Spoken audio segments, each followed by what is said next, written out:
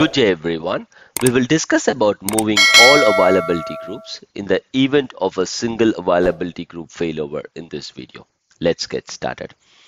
Consider a scenario where basic availability group is implemented between two standalone database servers with SQL Server Standard Edition installed.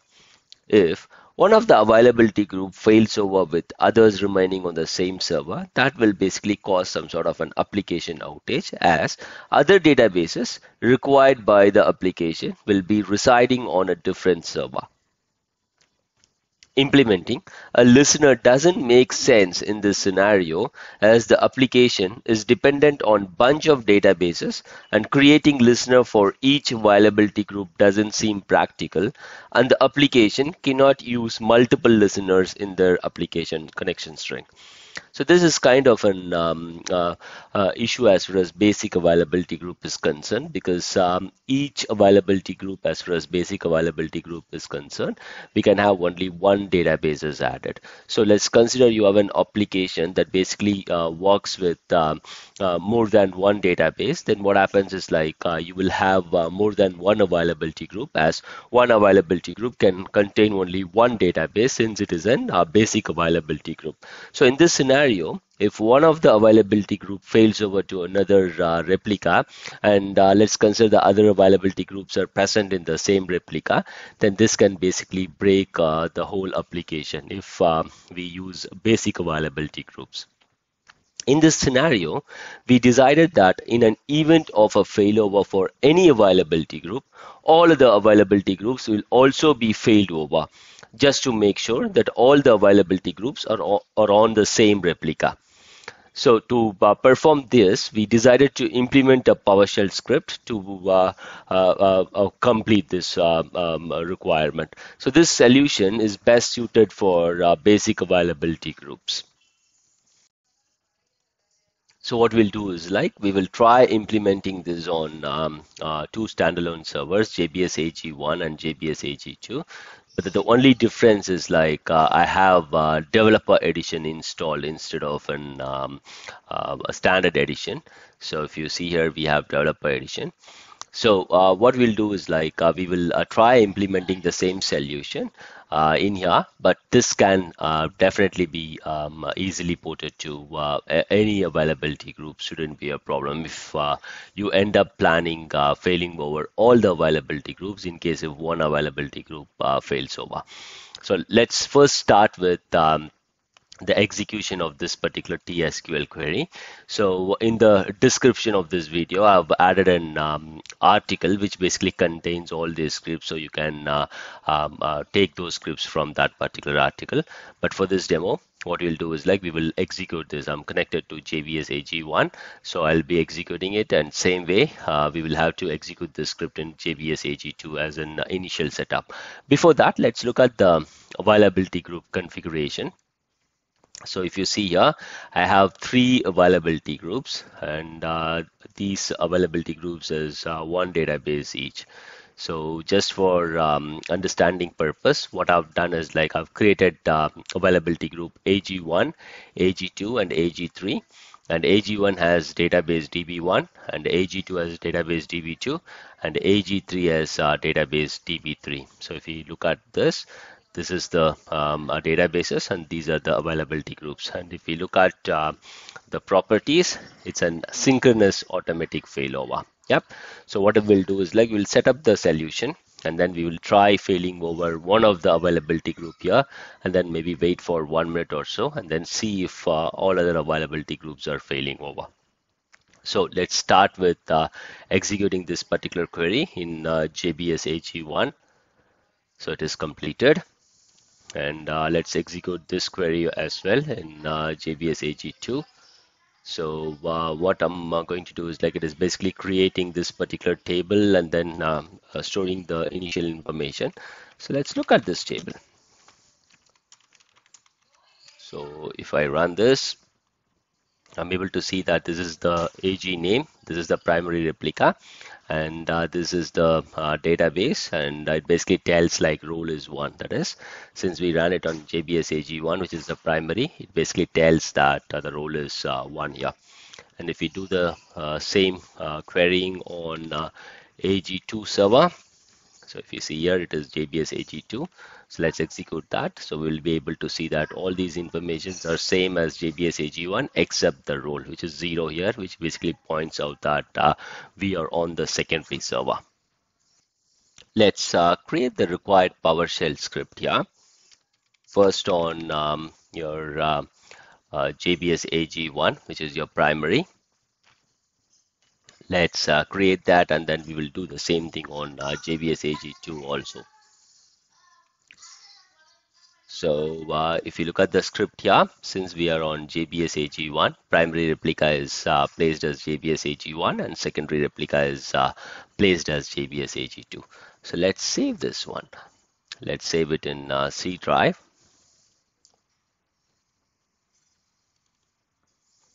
Let's name it as um, hmm, AG failover.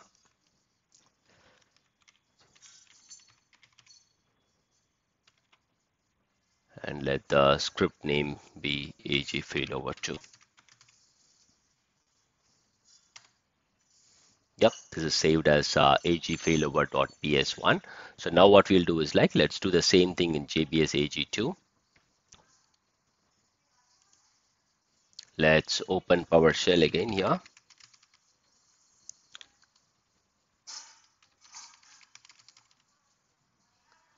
And uh, put the uh, query that we have copied. Again, all the scripts are placed in the article that I've uh, put it in the description of this video. So uh, you guys can uh, take it from there. So let me paste it here. So the only difference here, uh, since we are on JBS AG2, we will have to change this uh, uh, primary replica here to JBS AG2 and then uh, secondary replica to JBS AG1. So let's save it. Let's go to the C drive and then create a folder called AG failover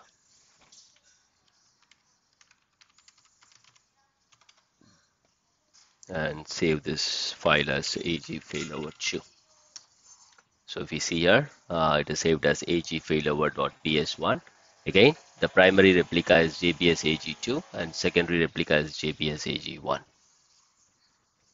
now what we will do is like we will uh, create an um, a windows scheduler job on both JBS AG1 and AG2 and um, uh, advise it to run this created PowerShell script uh, uh, every one minute. Okay, so what we'll do is like let's go to tasks. So open the task scheduler. Let's close this off and then let's uh, click on uh, create task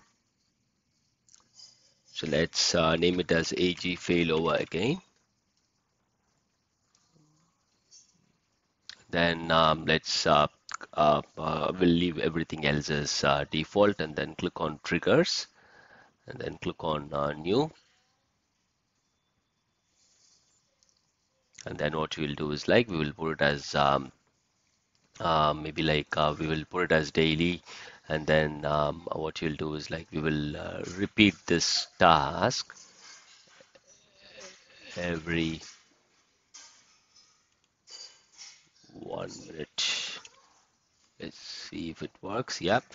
And uh, what we'll do is like um, uh, we will uh, use this uh, repeat task every one minutes for a duration of uh, 1j and then let's click on OK so that means like uh, uh, my this is the it is going to run every one minute. Yep. So every one minute for a duration of one day. Yep. So that's what it is going to uh, perform. Now on the action what we'll do we'll click on new. And then we will uh, uh, select uh, startup program here. And then let's browse it. And then let's go to C drive AG failover and then select this PowerShell file. Yep, there is no argument and uh, everything else is default. So let's click on OK. Let's click on condition. Uh, so um, here I'm uh, not going to uh, select any of um, uh, these things. I'm just going to leave it as default and uh, on the settings. uh, everything seems to be okay. Let's go with uh, uh, the default and then click on OK. So let's wait for this. So I have this one uh, here. So just do a right click and then click on run just to make sure it works. Showing as running.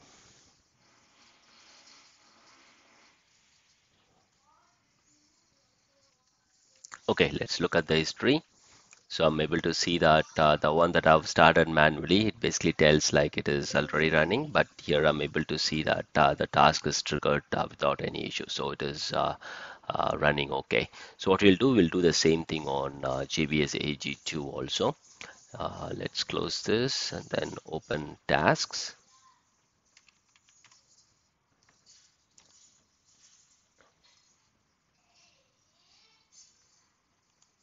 Let's create a task. We'll name it as ag failover. Trigger. Daily. Repeat tasks every one minute. Click on ok. Action. We'll start a program browse C drive AG failover and we'll select this. So everything else will be default here so let's click it.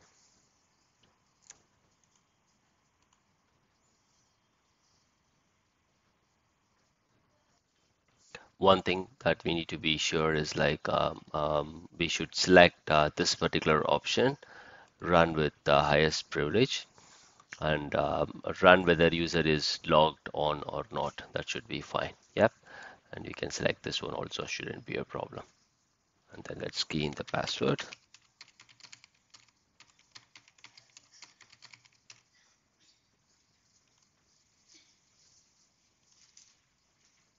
Let's do the same thing for JBS AG1 also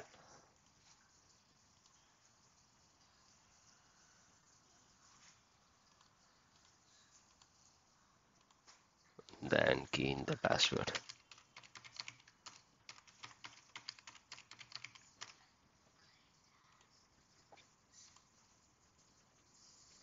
Let's check the JBS AG2. It is saved now. It looks good. Let's do it. Let's check. Yep, so everything seems to be good. We will try uh, executing this uh, PowerShell script manually and then see if it uh, is working as expected.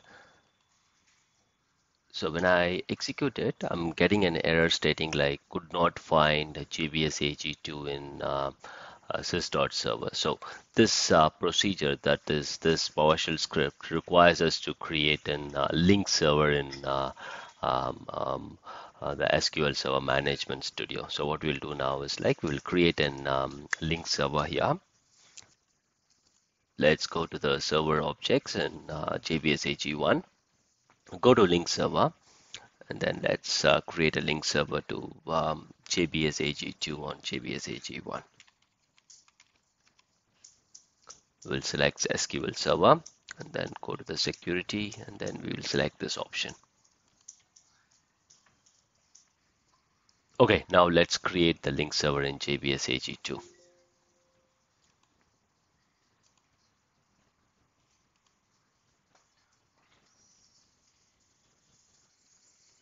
Okay, so let's connect to JBS AG2 and then create a uh, link server to uh, JBS AG1 from JBS AG2.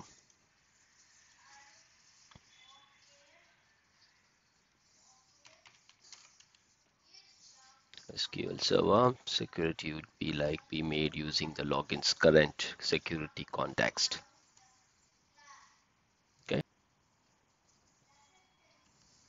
Okay, so let's uh, check the uh, PowerShell script now after creating the uh, link server. So it is working fine now. So what we'll do is like we will try a failover and then see if it is working fine. Okay, let's initiate a failover to um, uh, AG2 for AG1. Let's do it for AG2. Let's do a failover.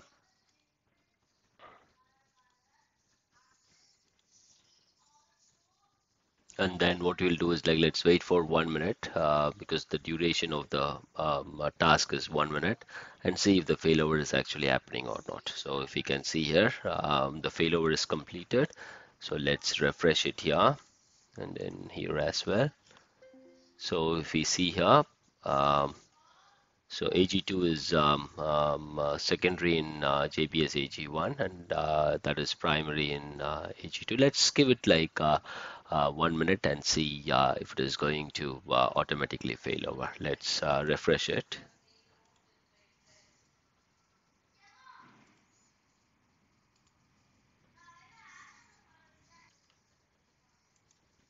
Let's refresh it one more time. Okay, so now if we see here, it is uh, automatically uh, failed over with this uh, PowerShell script running, and it is uh, failed over everything across to uh, JBS AG2.